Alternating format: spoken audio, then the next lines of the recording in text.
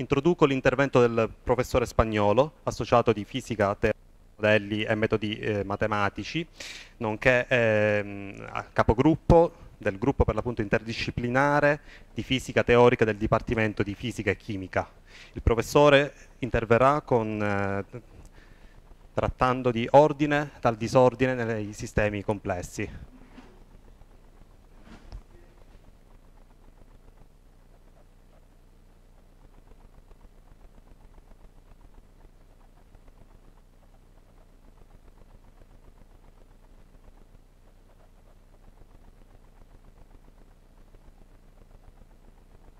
Adesso sente? Esatto. Quindi ringrazio appunto il comitato organizzatore, il direttore dei dipartimenti e un po' voi tutti pre presenti qui. Volevo dire due cose intanto preliminari, dico, magari non tutti voi lo sapete, però dico, eh, il professore Mantegna è uno dei padri fondatori dell'econofisica, che appunto eh, ha iniziato indagando eh, le correlazioni, la statistica mercati, delle serie temporali dei mercati finanziari, trovando che questi hanno una distribuzione di Levi. E vedremo che questo è una sorgente di rumore che, che è abbastanza diffusa in, non solo in econofisica ma anche in fisica.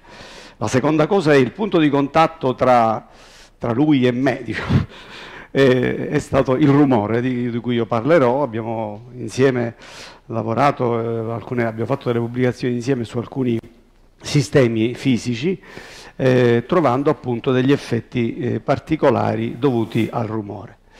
Va bene, allora detto questo, eh, io proverò a fare una, eh, eh, una, carrellata veloce di alcune delle cose, dei risultati di, di ricerca che penso che possono essere interessanti, che ehm, rappresentano una evidenza di eh, eh, andamento di dinamico di sistemi complessi. In, la novità rispetto diciamo, alla differenziazione rispetto alla, alla, alla lezione di prima è il fatto che noi consideriamo la dinamica, in particolare il nostro gruppo studia la dinamica. Il gruppo è formato appunto da, da me, da professore Valenti e poi ci sono eh, altri membri del gruppo, sono Angelo Carollo, Claudio Guarcello, Luca Magazzù e mh, Giovanni Denaro e una studentessa russa. Questa è una fotografia un po' del gruppo.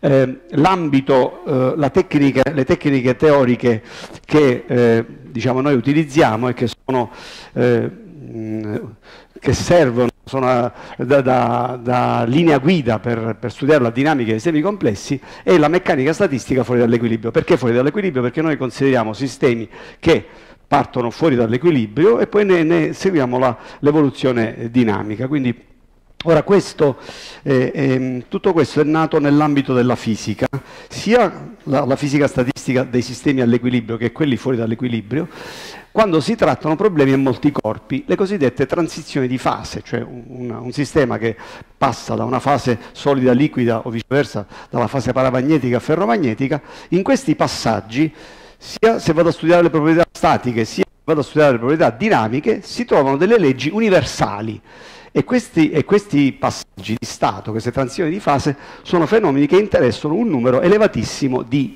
elementi del sistema. Quindi la complessità in, questa, in questo ambito nasce, questo è l'ambito in cui nasce in fisica negli anni 70, quando si comincia appunto, e quindi Anderson è uno dei padri fondatori queste, della criticalità dei sistemi eh, dei sistemi fisici a molti corpi ed è per questo che, diciamo appunto, eh, questo è l'ambito di cui parlerò io. In particolare vedrò, darò qualche esempio di sistema biologico, poi un, es un esempio di sistema, uno o due esempi di sistemi fisici e poi vabbè, le, le conclusioni.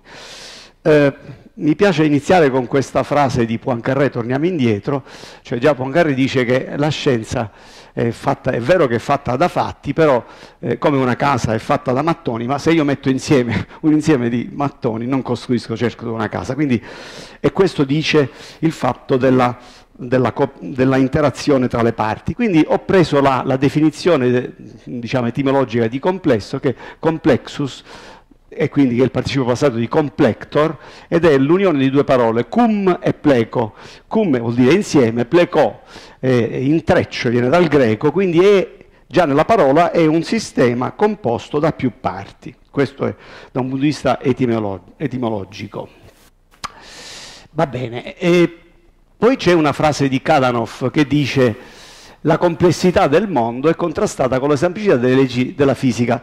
Lui quando dice questo, eh, dice per cui eh, la, la, fisica della complessità in realtà non mette in atto nuove, nuove leggi, questo però va, va, detto, va capito, perché già in ambito fisico, studiando le transizioni di fase, escono fuori tutta una serie di nuove leggi, di nuovi andamenti, leggi universali di scala, che di per sé descrivono un sistema complesso, quindi eh, eh, quando lui dice non, non ci sono nuove leggi che caratterizzano la complessità, intende dire questo, in realtà le leggi ci sono, ma riguardano i sistemi a molti corpi nella fisica, eh, quando poi vengono eh, in qualche modo codificati come complessi. I sistemi complessi sono sistemi aperti, allora quindi è un sistema composto da tante parti, è un numero molto grande di parti, diciamo, parliamo di numero di Avogadro, che interagiscono tra di loro in maniera non lineare, e non solo, e possono interagire anche in modo non lineare anche con l'ambiente circostante. Che cos'è l'ambiente?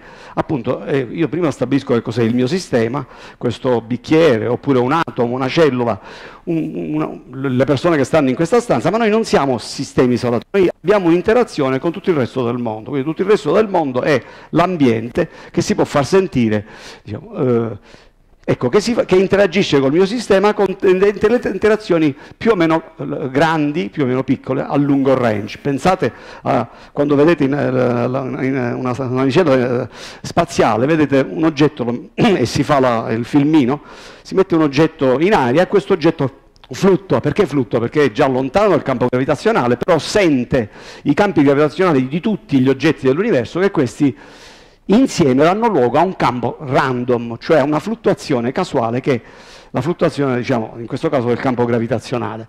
Quindi le fluttuazioni sono intrinseche eh, eh alla, diciamo, al mondo naturale.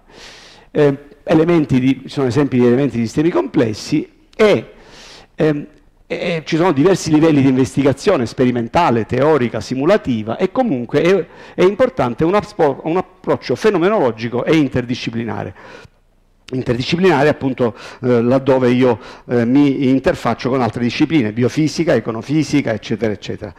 È fenomenologico perché eh, a tutt'oggi non esiste una teoria completa che, che mi consente di descrivere in maniera dinamica un qualunque sistema a molti corpi eh, al variare delle condizioni al contorno. Quindi non esiste, io non posso conoscendo le equazioni conoscendo il numero di particelle, arrivare all'evoluzione. Allora, per fare questo, alcuni fisici, ancora prima degli anni 70, anche, anche prima, cercando di descrivere le, appunto le transizioni di fase, e uno di questi è Landau, eh, hanno introdotto delle grandezze, il professor Mantegna l'ha citato, il parametro d'ordine. Il parametro d'ordine è una grandezza fisica che esprime l'ordine in termini di simmetria del sistema, eh, lo stato di simmetria del sistema, di un cristallo, di un, di un, di un qualunque eh, eh, può essere liquido, per esempio l'acqua ah, vicino allo zero gradi ha diversi stati di cristallizzazione, non solo uno, quindi diverse, passando attraverso lo zero centigrado subisce differenti transizioni di fase, noi ne,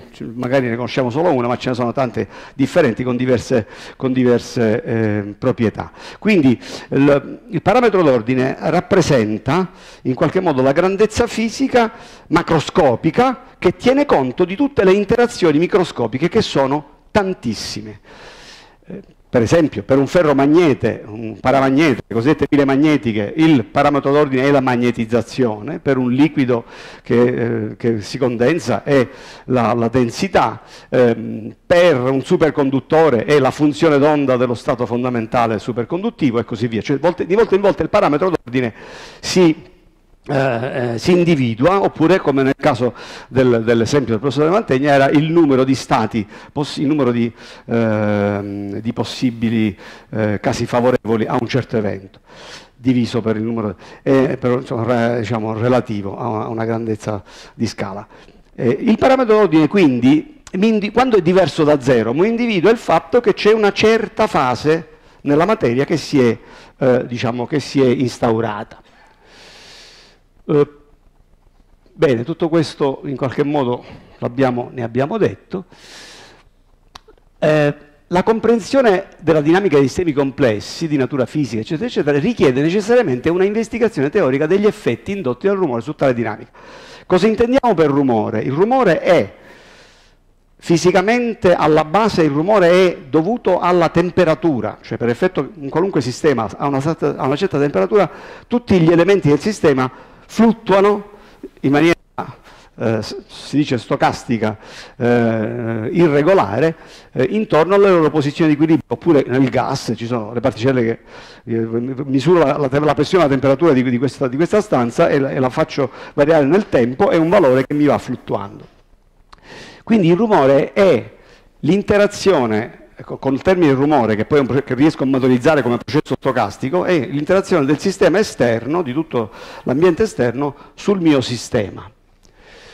Eh, e questo crea, eh, questo eh, diciamo, tiene conto del fatto che il sistema è aperto, questo condiziona la dinamica del mio sistema e siccome le interazioni sono non lineari, appunto io posso avere delle situazioni in cui si creano degli effetti completamente non predicibili, ci sono delle piccole cause che possono avere un grande effetto, oppure una grande causa che può avere un piccolo effetto. Questo è dovuto alla non linearità. E qua ci sono esempi di vetri di spin, i cosiddetti sistemi disordinati. Ma la cosa interessante è che il rumore, che è di per sé un segnale disordinato, cioè è completamente caotico, può innescare nei sistemi fisici una struttura ordinata. E questo è quello che avviene, che ho osservato normalmente nelle nelle transizioni di fase che noi conosciamo, cioè quando io passo da una struttura all'altra, quello che fa passare eh, il, diciamo, il, sistema da una struttura all'altra è la presenza del rumore in, in corrispondenza del punto critico, che mi consente l'innes l'innesco di una nuova struttura ordinata. Quindi il rumore, che è di per sé un segnale disordinato, crea ordine nella materia. E questo è diciamo, eh, già conosciuto dai fisici in ambito delle tensioni di fase, ma eh, eh, via via viene, viene, scoperto in tanti altri ambiti eh, e anche eh, diciamo, recentemente si sta sviluppando molto anche in, in fisica quantistica. Eh, questo ho citato eh, Anderson, vabbè qua possiamo andare più avanti e, qui vabbè l'esempio classico della mela, io posso vedere la mela diversi, da diversi punti di vista, e, e, è, un, è un, il mio sistema complesso, però ogni descrizione particolare me ne darà una sua, una sua particolarità e ogni, e ogni, teoria che io uso, ogni, eh, eh, eh, ogni linguaggio che io uso ehm, è ha delle tecniche indipendenti, questa è un'altra caratteristica. Eh, la complessità può essere di tre tipi, formale, e, algoritmica e, e, semantica, quella formale che conoscete tutti, quella di Gödel, che è il teorema di indecibilità, estraendo tutte le possibili conseguenze da un corpo finito di assiomi, prima o poi si arriva a una proposizione indecidibile all'interno della teoria. Cioè, questa, questo teorema di Gödel, eh, io eh, dico, credo, eh, non, non, so il solito, è, è, di una portata eh, grandissima, cioè introduce la eh, impredicibilità in una disciplina come la matematica, per cui eh, in qualche modo introduce il sistema aperto, che è il sistema degli assiomi, cioè io, dato un sistema di assiomi, posso dedurre una certa logica, una certa eh, frasi formali, posso costruire una logica, ma se eh, voglio, eh, a un certo punto vado avanti, trovo una qualche cosa che non, non, non rientra negli assiomi, dice va bene, allargo gli assiomi, quindi per poter prevedere dovrei avere un numero di assiomi che è infinito. Questa è, diciamo, in, diciamo la, la, la un, un, piccolo ostacolo, eh, diciamo. poi c'è l'algoritmo, cioè la lunghezza dell'algoritmo sia in termini di lunghezza spaziale che temporale e infine la semantica, e io non posso prevedere, un po' già ne ha accennato il professore Mantegna, non posso predire da, da elementi finiti, non posso predire tutto il mio sistema, si chiama determinismo, eccetera. Va bene, questi sono esempi. Eh, questi sono alcuni esempi di sistemi. Io accennerò a un sistema neuronale, poi accennerò a un sistema... Ecco, questo, quello che vedete al centro è l'andamento, potrebbe essere, potrebbe essere detto, sì, sì, l'andamento di, di, di un'energia che, che, descrive il sistema. Un un'altra definizione di sistema complesso è un sistema la cui energia associata, chiamiamola energia libera, non proprio energia potenziale, energia libera associata, ha un numero estremamente elevato di massimi e minimi. I minimi sono i punti in cui il mio sistema si va a fermare, sono gli stati stazionari del mio sistema. eh, eh, gli, gli, stati stabili stazionari, perché poi ci sono anche gli stati stazionari instabili che corrispondono ai massimi.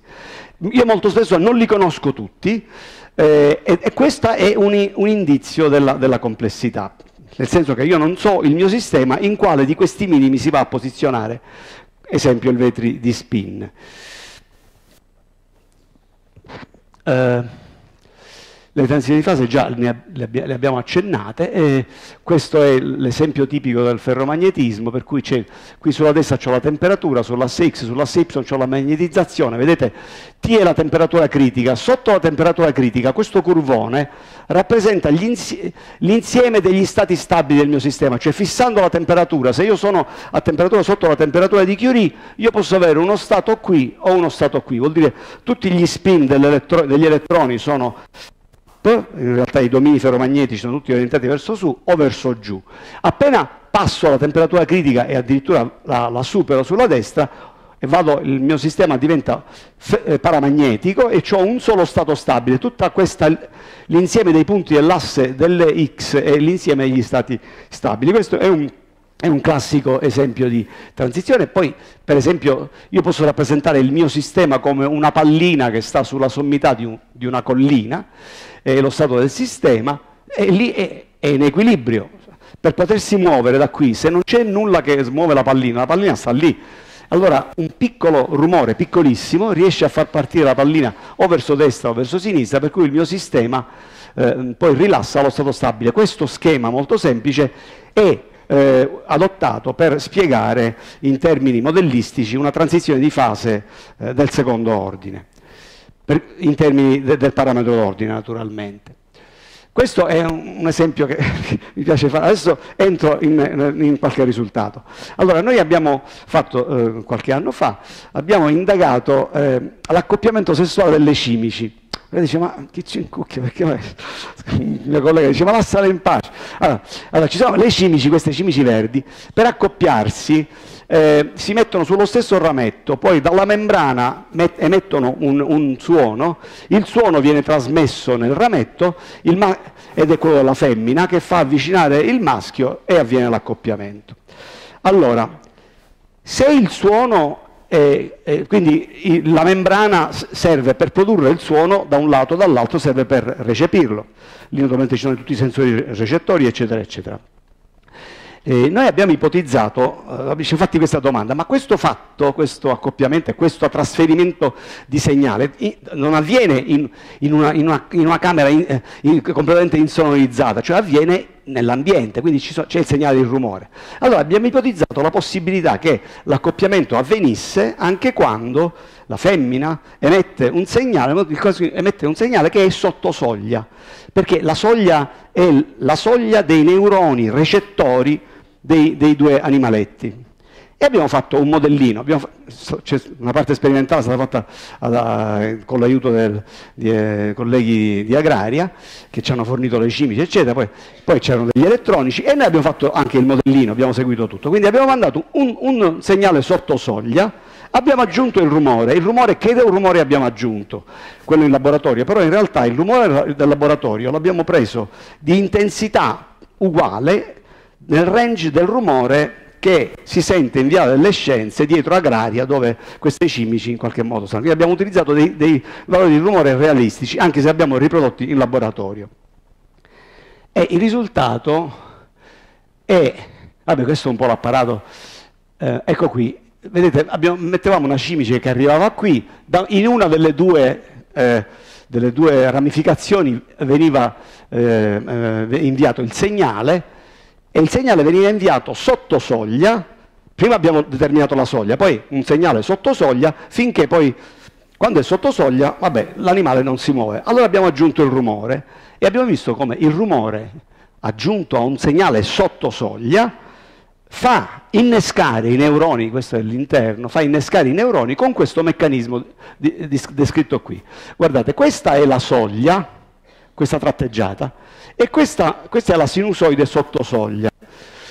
Questa, la sinusoide sotto, I neuroni sono dei dispositivi on-off, Se al neurone arriva una differenza di potenziale, che sono, tutte le cellule sono delle piccole batterie, so, arriva una differenza di potenziale che è sotto la soglia del neurone, il neurone non, non si accende, fire, anche se tutti i neuroni normalmente mandano dei segnali tra di loro nel cervello, questo fa parte del rumore interno dei neuroni. Allora, questo segnale non riesce a, a mettere in moto nessuna, nessuna, soglia. Però se a questo segnale gli aggiungo questo rumore rosso, che è questo segnale, vedete, molto, molto eh, randomico, molto variabile, ci sono degli istanti in cui in corrispondenza dei, dei dei massimi del segnale, io riesco, riesco, a superare la soglia e il neurone si attiva, quindi si attiva qua, poi si attiva qua, poi si attiva qua, eccetera, eccetera. Riesco, a, guarda caso, è più probabile che eh, io ho una risposta del neurone in corrispondenza dei picchi, quindi ho un rumore che, diciamo, con, eh, con l'aiuto di una forzante già sinusoidale, fa dare alla cimice o al sistema una risposta ordinata. Se poi vado a fare il segnale il rapporto segnale-rumore in funzione dell'intensità de, del rumore, quindi con tutta una tecnica, eh, riesco a trovare un andamento non monotono, cioè c'è un massimo, c'è un valore di rumore ottimale per cui eh, eh, il mio sistema riesce a trasferire informazione ordinata tra un sistema e l'altro. E questo, fenomeno si chiama risonanza stocastica, che è stato predetto come modello da un gruppo di fisici romani e lì c'è lo zampino di, di, Giorgio Parisi che all'inizio aveva dato questa idea. Qui, qui, sono vabbè, risultati, questa è la, la curva teorica. C'è un altro fenomeno di risonanza stocastica. Quando io ho un sistema bistabile, guardate, la bistabilità è diffusissima in fisica nei sistemi, cioè sistema, anche nei, sistemi, nei mercati finanziari si usa eh, spesso il modello di uno stato stabile vuol dire che il mercato è stazionario. Allora, se io ho un, un, bistabile che in qualche modo è sottoposto ad una forzante periodica, che dovete pensare è per esempio le oscillazioni della temperatura annuali, e, e il, la, il sistema quando si trova qui rappresenta proprio lo stato del sistema, se inizialmente sono qui in questa condizione, poi man mano che scorre il tempo il potenziale si va modificando, ci sono delle situazioni in cui la barriera di potenziale diventa più piccola, per cui un piccolo segnale di rumore può agevolare il salto del, del sistema da un minimo all'altro. Per, per, avere lo stesso salto devo, devo, far passare mezzo periodo e, e ottengo quest'altro passaggio. Quindi in media in un periodo ho due salti, eh, eh, questo, diciamo, questo, fenomeno si chiama risonanza stocastica. Perché stocastica? La risonanza meccanica la sapete tutti, Dico, c'è l'esempio classico dei, dei, militari che devono, adesso non, non, si vedono più, che marciano sopra su un ponte, se loro marciano ad una frequenza che è un multiplo o un sottomultiplo della frequenza di oscillazione del ponte, anche un piccolo segnale del protone fa mettere in oscillazione il ponte e si rompe. Qui invece, quindi un, ci sono due frequenze che si matchano tra di loro, qui invece abbiamo, abbiamo pure qui due frequenze o due tempi, però una è la forzante esterna che mi modifica il sistema e l'altra è il tempo che, che, la, che, la, particella, il sistema, impiega per andare da qui al massimo. Questo tempo è un tempo stocastico perché dipende dall'intensità del rumore. Quando questi due tempi sono uguali si ha la risonanza stocastica, si è applicata in un sacco di casi, eccetera.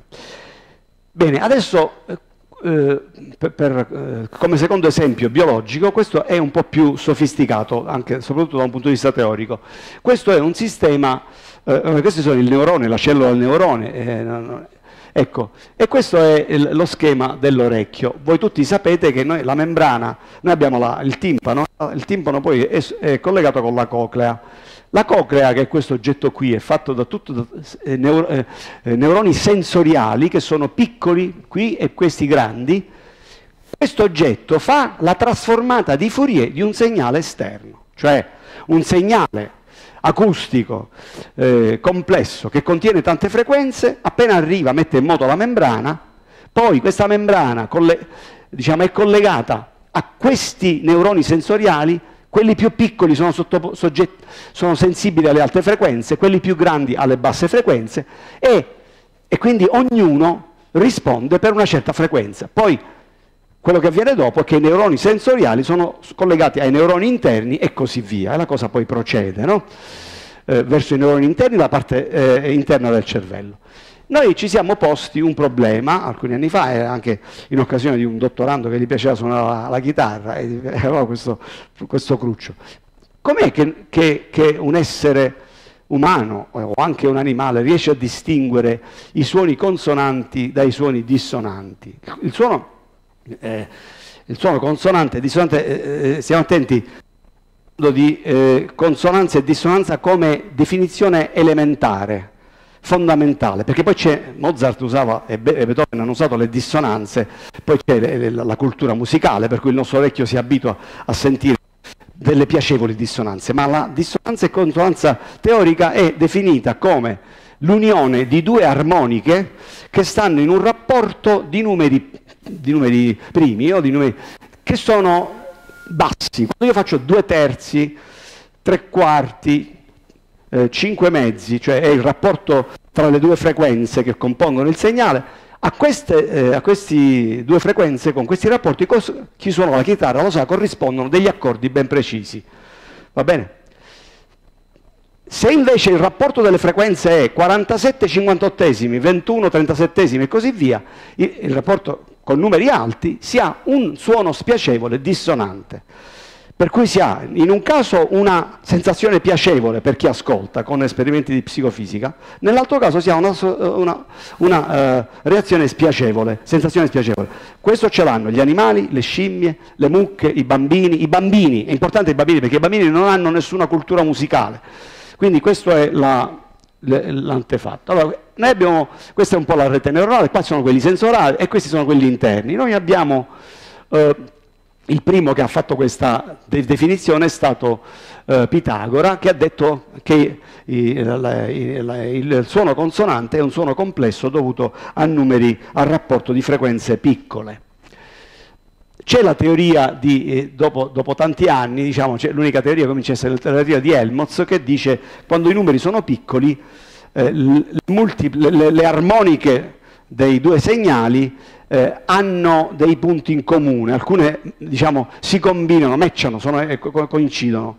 Quando i numeri sono invece molto alti, le armoniche dei due segnali non si combinano assolutissimamente, per cui c'è un fenomeno di bit, bit effect, cioè questi colpi, dovuto che io sento tutte queste armoniche, così eh, dà luogo a un, un, senso spiacevole. Quindi, e lui si è avvicinato parecchio alla soluzione del problema. C'è un'altra cosa da dire sull'orecchio, se io mando due, due, frequenze che sono armoniche di una stessa fondamentale, quindi mettiamo la, la frequenza fondamentale è 100 Hz, eh, io, io, compongo un suono con 200 Hz e, e 300 100 e faccio un suono misto, l'orecchio sente 100 Hz, oltre a sentire quei due.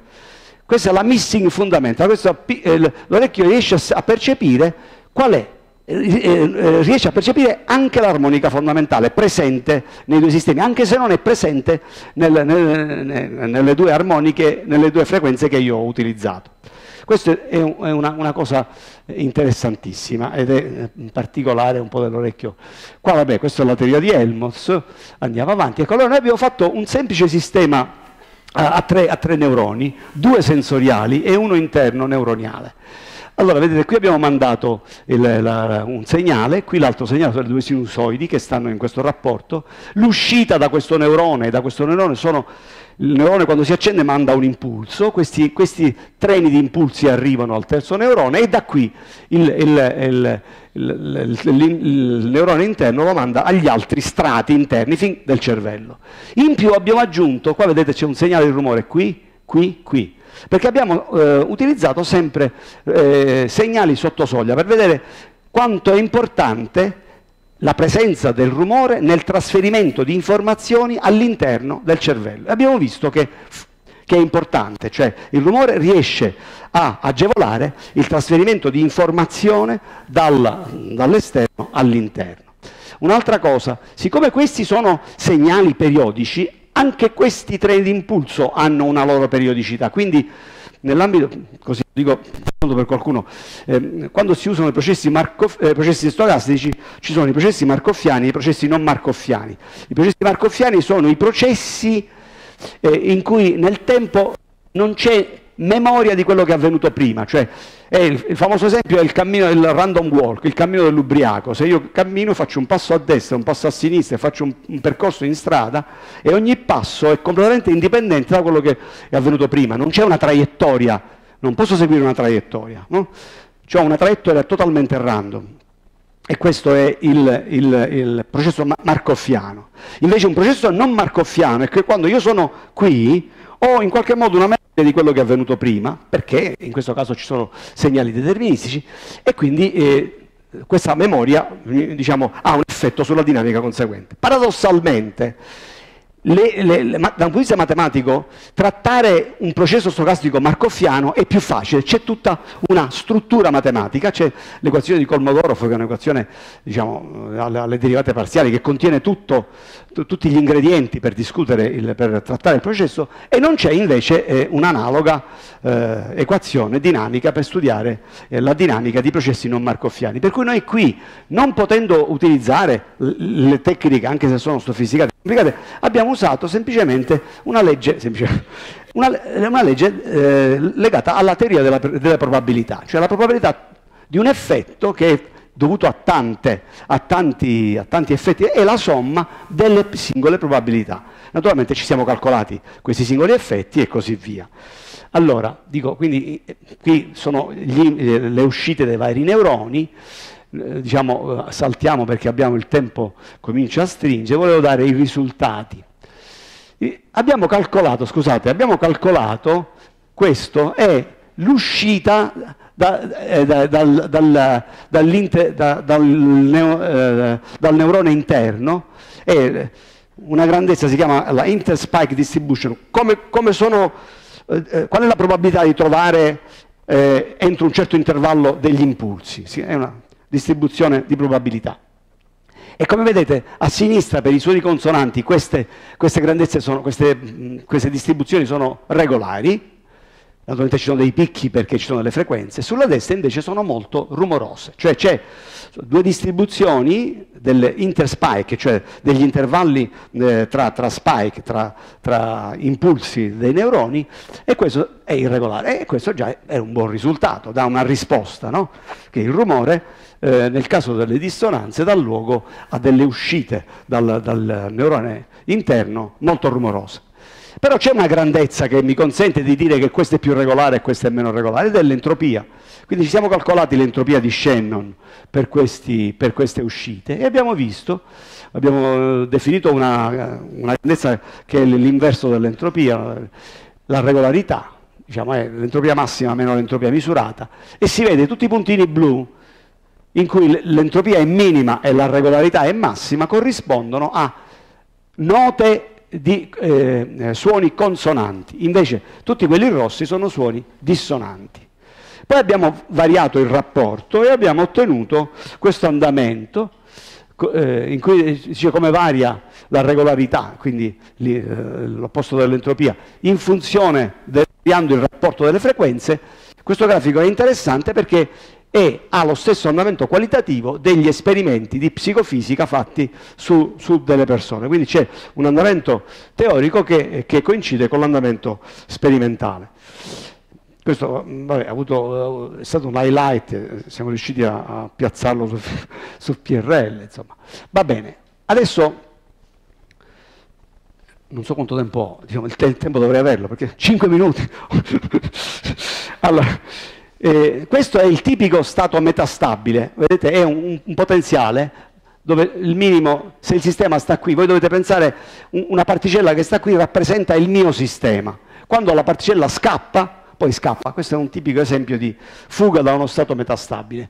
Quindi lo stato metastabile è presente in tutti questi sistemi, sistemi chimici, diffusione dei solidi, cristalli, laser, eh, eh, eh, liquidi quantistici, sistemi di spin, proteine, eccetera. Per non parlare perché è importante? A me diciamo, è importante sapere se una particella sta qui, in uno stato metastabile. Fatemi fare una parentesi. In fisica, eh, non solo in fisica, gli stati metastabili sono molto di più di quelli che noi pensiamo che ci siano. Cioè lo stato met metastabile è uno stato in cui sta il sistema per un certo tempo, finché poi non esce da, quel, da, quel, da quello stato.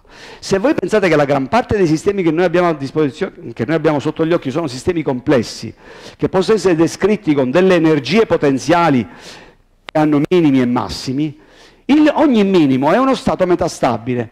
Sarebbe lo stato stabile l'unico che è quello più profondo, ma normalmente quello più profondo non riesco a conoscerlo.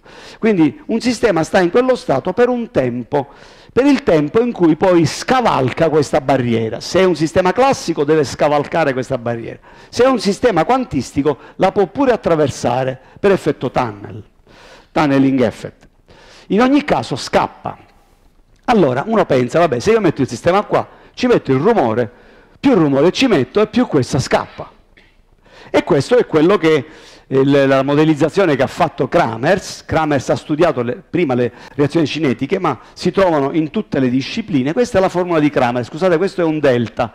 Mi, mi è venuto. Il tempo di Kramer è uguale a una certa costante per l'esponenziale dell'altezza della barriera per l'intensità del rumore. Quindi più alta è la barriera, più improbabile che il sistema scappa.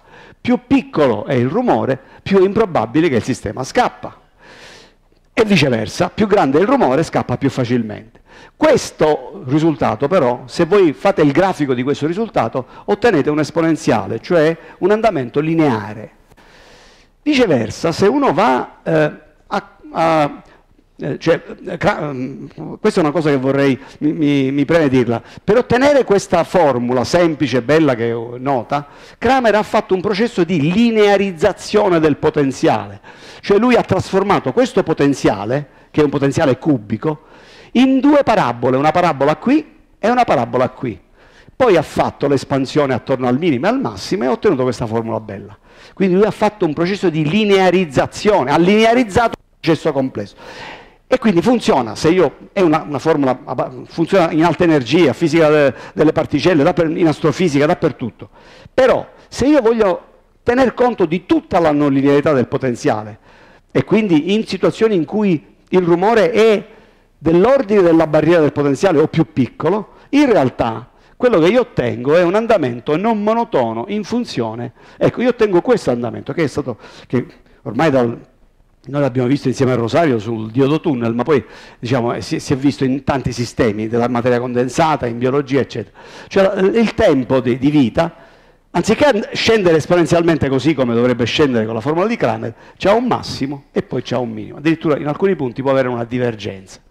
E questo si chiama no, noise enhanced stability, cioè stabilità indotta dal rumore, o metastabilità indotta dal rumore. Per cui il rumore in realtà è come se cioè la parcella scappa, però non finisce di scappare e il rumore la mette dentro. Questo è un po' il meccanismo, diciamo così, pittorico. Questo fenomeno, ecco, quindi questo no, dipende molto dalle condizioni iniziali, quindi un, un sistema che ha eh, una forte dipendenza, diciamo una non ergodicità, diciamo, e questi sono vabbè, alcuni risultati. Noi qui, questi sono diciamo, alcuni risultati teorici, vabbè, ok. Un, un, altro fenomeno indotto dal rumore è quando questo potenziale va su e giù e in più c'è un rumore termico. Questo si chiama, cioè eh, la parcella può scappare e perché il potenziale balla, ma se c'è il rumore può scappiare diciamo, ancora uh, per, per, un, per un secondo motivo. Allora si vede che il tempo di fuga in funzione della frequenza ha un minimo, cioè scappa velocemente, c'è un effetto risonanza, questo si chiama risonanza stocastica, eh, attivazione eh, risonante stocastica, scusate, attivazione risonante stocastica. Bene, eh, questi due effetti io, di cui ho detto, che sono importanti, che io, diciamo, noi abbiamo, li abbiamo fatti su modelli, sistemi di modello, tra virgolette, semplici, cioè poi in realtà la matematica è un po' più complicata, però in realtà danno ragione di molti andamenti di sistemi complessi. Tenete conto che ogni qualvolta io eh, considero un bistabile e, e, e l'energia è, e, la mia variabile è il parametro d'ordine, io già sto descrivendo un sistema complesso, quindi anche se sto facendo un bistabile, un sistemino così che sembra a una dimensione, la variabile x è una variabile macroscopica che tiene conto di tutte le variabili collettive del sistema complesso, quindi già è, mi dà eh, conto di, dei comportamenti complessi. Questo è il tipico rilassamento diciamo, eh, in presenza di un'assenza di rumore e noi abbiamo diciamo, visto questi effetti in in un sistema, per esempio come questo, che è un il, due superconduttori messi a, uno accanto all'altro con, una, un, con uno strato di isolante, fanno le cosiddette, la giunzione Josephson, in cui eh, gli elettroni, un, le coppie di Cooper da un, da, una, da un superconduttore passano all'altro superconduttore per effetto tunneling. In questo caso la, il parametro d'ordine è la funzione d'onda dello stato fondamentale superconduttivo. Poi qui c'è un, un, angolo, una fase, la differenza di fase tra le due funzioni d'onda, per chi è del liceo, forse io so che da poco al liceo hanno cominciato a introdurre la meccanica quantistica, comunque la differenza di fase, che è una grandezza importante tra, tra le funzioni d'onda dei due superconduttori, è anche indicativo come parametro d'ordine. Queste sono le, le, le, le equazioni. E, e questa è l'equazione eh, dinamica a cui si perviene, un'equazione del secondo ordine alle derivate parziali nello spazio e nel tempo, è abbastanza complicata. Non esiste, uh, questa è l'equazione di Sine-Gordon che si trova in altri ambiti della fisica. La, tutte le volte che io vado a studiare fenomeni oscillatori, faccio teorie di campo, punta l'equazione di Sine-Gordon. Se in più ci metto dentro il rumore, questa equazione si chiama equazione differenziale stocastica, quindi diventa abbastanza complicata, cioè non, non esistono soluzioni eh, diciamo, analitiche. Queste è un po' alcune cose che, che abbiamo visto, Vabbè, questo è il potenziale, ecco vedete la, il sistema evolve, vedete questo è un, un potenziale eh, washboard, cioè un potenziale eh, oscillante, periodico, quando il sistema sta in un minimo corrisponde al fatto che il sistema è superconduttore quando esce dal minimo diventa, perde, eh, passa dallo stato superconduttore allo stato resistivo. Per cui è una transizione di fase eh, eh, regolata dalla corrente esterna. Vedete, si possono osservare dinamiche di solitoni o dinamiche di breeder. Breeder è una specie di onda solitaria che forma un impulso che va su e giù dentro il, il, il, la, la giunzione. Eh, tutto questo dipende dal rumore. Qui abbiamo usato, vedete, questa è la distribuzione di Levi che il professore Mantegna ha trovato nei mercati finanziari, noi l'abbiamo usata come sorgente di rumore. Sembrava una elucubria teorica, però in realtà sono usciti un sacco di lavori sperimentali in questi ultimi anni eh, in cui hanno fatto vedere, in cui usavano sorgenti non gaussiane, perché una sorgente non gaussiana tra parentesi, per, le, per, per, i processi stocastici non gaussiani esiste una equazione di Kolmogorov generalizzata, quindi esistono gli strumenti matematici per affrontare il problema. Vabbè, questi sono eh, alcuni esempi e, e vabbè, ehm, tutti questi massimi, qui naturalmente questo è PDF, quindi non, non si vede, ma insomma questo è interessante, questa è, è una stringa di fase che si, si muovendo lungo la giunzione e, e, si vede come si innescano i solitoni e i solitoni sono responsabili del passaggio da una fase all'altra della giunzione. Eh, ci sono, ci sono, gruppi con cui noi siamo in collaborazione a Pisa, alla, alla scuola normale e al CNR, che stanno studiando il, il, trasferimento di calore dovuto ai solitoni, che questa è una novità assoluta, per cui dico ha tutta una, una serie di conseguenze di fisica fondamentale, ma anche di eh, di applicazioni a dispositivi nuovi. Questi massimi che voi vedete sono eh, aumento di stabilità della mia giunzione, della, della, vita media dello stato superconduttivo in funzione dei parametri del, del, del rumore che, che abbiamo considerato. Poi si trovano anche qui de, de, delle leggi di scala, ma vado, vado un po' veloce perché siamo...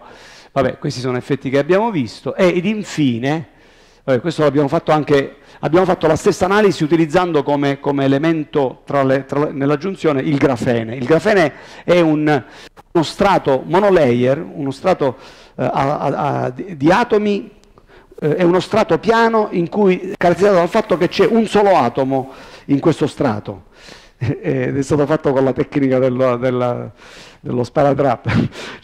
cioè, è interessante, quelli che hanno avuto il premio Nobel hanno pensato come facciamo a fare uno strato eh, superficiale che contiene soltanto un atomo a livello. Allora, eh, le tecniche sono complicatissime. Allora, se voi prendete un semplice eh, nastro adesivo e lo appiccicate a una superficie, poi tirate velocemente, che cosa succede? Cosa rimane nello stato, nel, nel, nell'adesivo? Rimane uno stato superficiale o di cellule o di, o di pellicole, cioè si riesce a fare con questa è l'idea, diciamo, la furbata. Il grafene è interessante perché ehm, ha aperto, eh, da un punto di vista della fisica fondamentale, contiene tutta una, una serie di proprietà che, che, che, che i, i, i normali i sistemi eh, dello stato solido non hanno.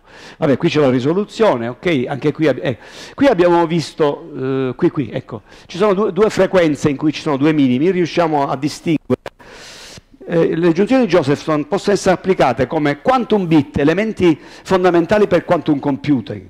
Possono essere utilizzati nei normali, nei normali computer per alzare la frequenza, ma possono essere anche utilizzati come detector, come rivelatori di segnali non noti e recentemente, sperimentali, noi l'abbiamo fatto teorico, eh, hanno fatto vedere, diciamo, sia teorici che sperimentali, mh, mm, che io ho un segnale no, incognito, cioè conosco, di cui non conosco la sua natura, lo mando alla, alla giunzione Josephson e vado a studiare la statistica di fuga dallo stato superconduttore, quindi l'uscita dalla parcella dalla buca, studiando questa statistica posso inferire, risalire alla, a, alle caratteristiche statistiche del segnale di ingresso che può essere appunto con una, con una distribuzione eh, eh, statistica normalmente non gaussiana, cioè la, la, non gaussianità è molto più diffusa della gaussianità.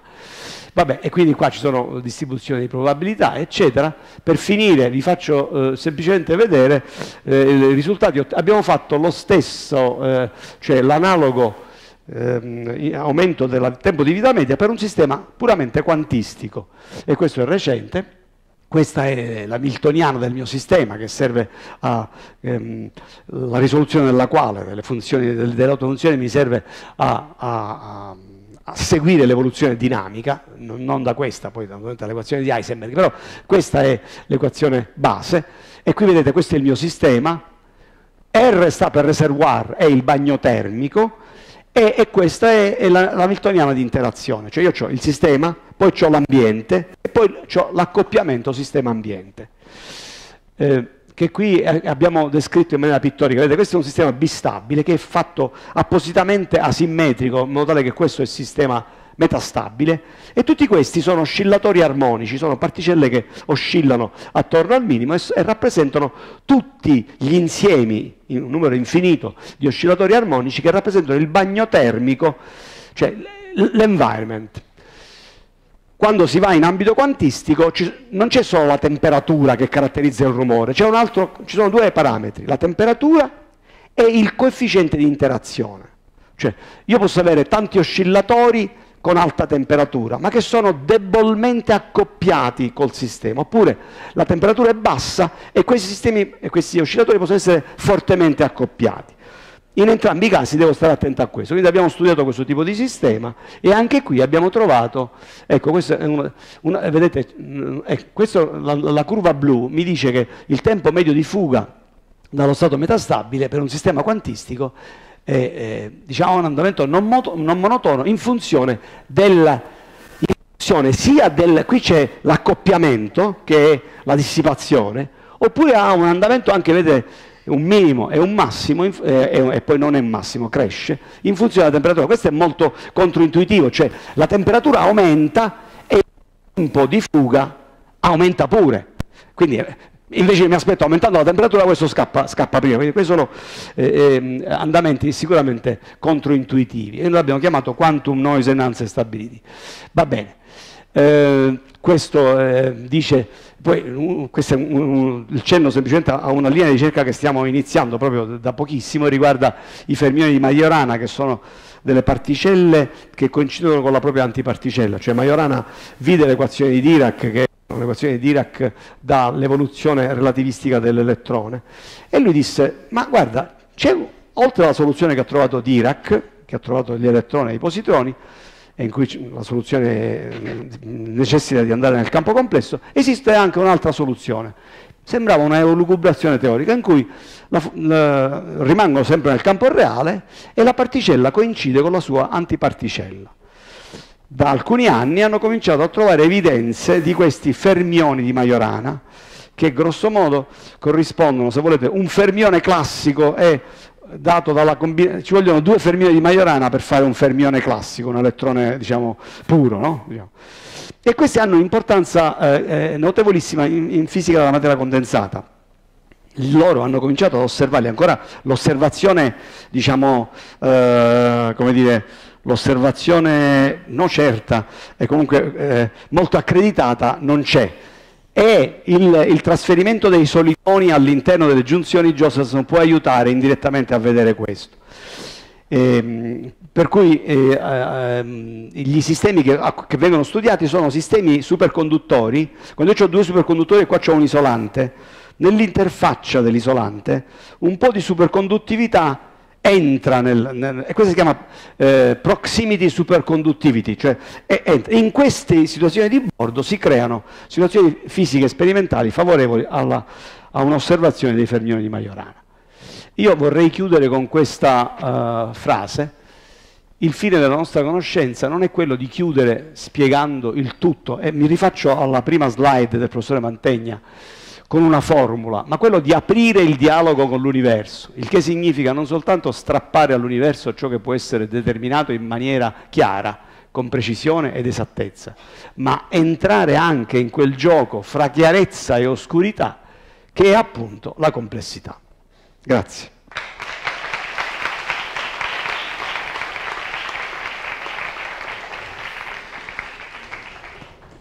Grazie professore Spagnolo mi sono, sono riuscito a correre.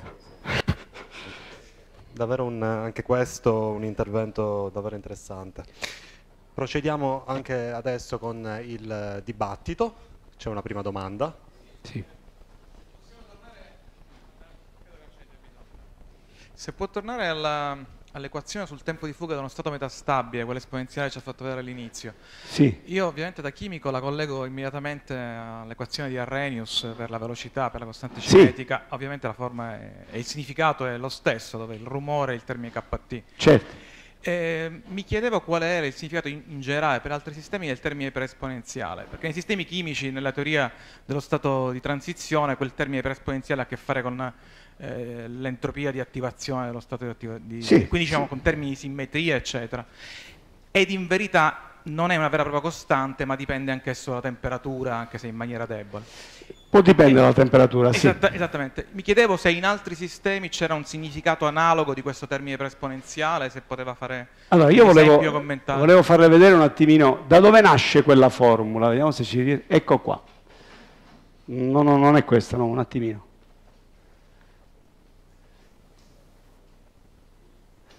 Ecco qua. Allora, la formula eh, Kramers per arrivare alla, for alla, sua formula parte da, for parte da questa formula qui e questa si ottiene eh, scrivendosi un'equazione di Fokker-Planck, cioè un'equazione deterministica alle derivate parziali, che dà l'evoluzione della probabilità che una particella scappi da, da quella buca lui scrive la, la punk backward, la, la Ford la risolve, poi da lì si arriva a un'equazione differenziale del secondo ordine sul tempo medio di fuga, perché il tempo medio di fuga è cos'è? È l'integrale del tempo per la probabilità, è giusto? Mi faccio questo integrale, poi faccio l'integrale di tutto quello che è e mi spunto un'equazione l'operatore integrale sulla, sull'equazione di Fokker-Planck e mi spunto un'equazione differenziale del secondo ordine eh, su, eh, sul tempo medio. La integro due volte ed eccola qua.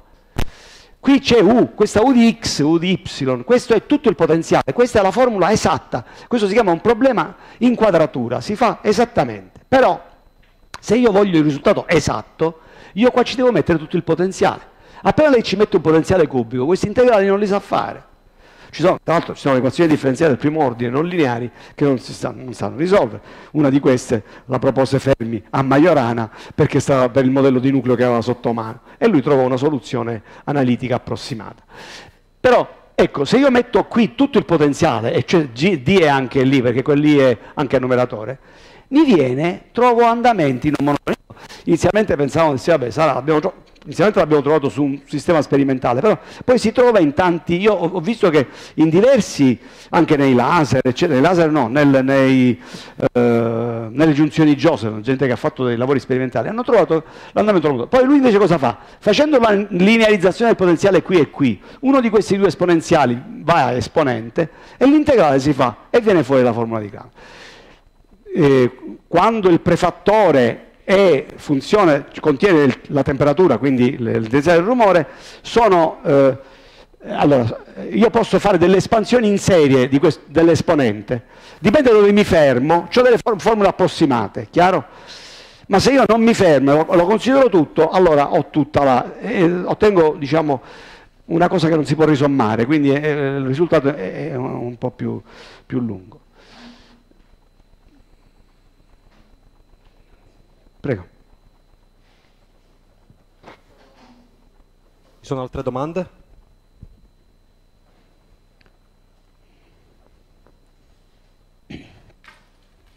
Eh, Bernardo, io sono rimasto affascinato dal, dalle cimici, dal, dal concetto sulle cimici. Eh, volevo capire una cosa, se eh, nel vostro esperimento mandavate solo rumore, succedeva sì. qualcosa?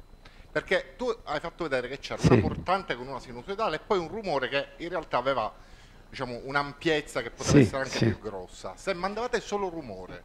No, allora ti rispondo, eh, grazie della domanda. Allora, il rumore è un segnale disordinato che contiene in teoria tutte le frequenze da zero a infinito, in teoria. In realtà non esiste un rumore, questo è un rumore teorico, quello che si usa per fare i calcoli, però a un certo punto il mio sistema ha una frequenza di taglio oltre la quale non posso andare, però può essere grandissimo, quindi contiene tutte queste frequenze. Allora, qual è l'idea base della, di questa e della risonanza stocastica in generale? Siccome il rumore se io faccio eh, lo spettro di Fourier, cioè se mi faccio la domanda, tutte queste che ci sono nel, nel segnale di rumore, ognuna quanta parte di energia trasporta? Il, il, rumore trasporta energia, non c'è dubbio, perché è un segnale, faccio il quadrato, no? eh, l'integrale nel tempo è l'energia trasportata dal segnale. La domanda è, questa energia com'è distribuita nelle singole frequenze? Questa si chiama l'analisi di Fourier, mi dice come, sono, come distribuita. Quindi, se c'è una frequenza che predomina, quello non è più rumore, quello è una... Allora, è in grado può, di poter dare a tutte le frequenze dello spettro una parte di energia. Quindi se io mando il rumore ad un sistema che ha qualche frequenza particolare, il, il, segna, il, il rumore è in grado di trasferire, proprio data la non linearità, energia a quella frequenza e si va in risonanza. Nel caso, adesso vado più in dettaglio, se tu gli mandi tutte cose di rumore, la cimice non risponde. Io sono andato veloce lì, in realtà la cimice quando trasmette non è che ha una sola frequenza, io sono andato veloce, ma c'è uno spettro di frequenze, cioè lo spettro di frequenze del segnale emesso è complesso. Su quello spettro ci sono delle frequenze che predominano e poi frequenze che non predominano. Noi quello che abbiamo fatto è prima riprodurre il segnale emesso dalla cimice, l'abbiamo riprodotto eh, con il calcolatore e quindi con, con l'elettronica, in modo tale che la, eh, il maschio sentisse effettivamente il segnale con le frequenze predominanti. Però di tutte queste, anche quella più predominante era comunque sotto soglia. Poi il rumore gli aggiungeva il suo da più. Quindi mandi, in qualunque sistema, se tu gli mandi un, un, uh, un, un segnale rumoroso, normalmente la risposta è, diciamo, picche.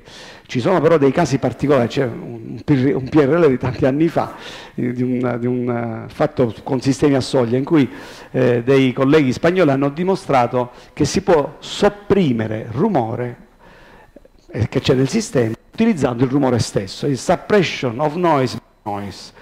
Però è tutta una tecnica che si usa nella materia condensata, ma anche credo si può utilizzare forse per spiegare alcuni meccanismi. Perché eh, nei sistemi biologici, nel, nel, cervello, ci sono due tipi di rumore. Il rumore interno delle cellule che si mandano continuamente segnali, più il rumore esterno. E io devo tener conto di questi due rumori. Non ne posso non tener conto, perché ci sono Se io faccio un modello e dico, vabbè, io faccio la mia equazione, certo, è più facile, una qualunque equazione è più facile, tra virgolette, una qualunque equazione dinamica differenziale ah, è più facilmente risolvibile, ripeto, anche se questo non è, non è sempre vero, perché ci sono equazioni anche eh, di, di, del primo ordine di, non risolvibili.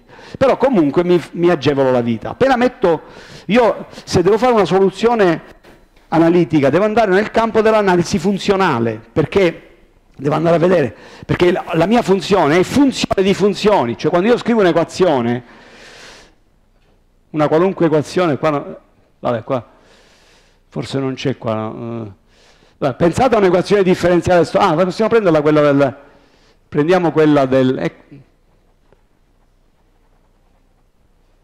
questa, questa, questa qua per esempio, qui, allora, questa è già, questa qua, ecco, se voi, questa xi è il mio rumore, il mio rumore ha infinite possibili realizzazioni, cioè io faccio partire il tempo e dico come varia nel, qual è la, il grafico di questo, c'è un, un, andamento irregolare, poi faccio ripartire da zero e ce n'è un altro, cioè infinite realizzazioni. Per ognuna di queste realizzazioni c'è una soluzione di x è un funzionale del rumore, quindi l'attacco analitico è l'analisi funzionale, oppure perché io devo integrare questa cosa, oppure si fa un'integrazione alla ITO che mi evita di andare nell'ambito dell'analisi funzionale e faccio, diciamo, eh, applicando le regole del calcolo di ITO, eh, riesco, eh, se sono in grado eh, di riconoscere la soluzione formale teorica di questa funzione, anche se è incognita, posso tentare una, una soluzione analitica del mio problema.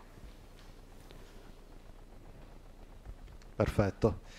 Penso che con i tempi ormai siamo abbastanza stretti, per cui eh, concludiamo il dibattito. Eh, ringraziamo ancora una volta il professore Spagnolo e in ogni caso...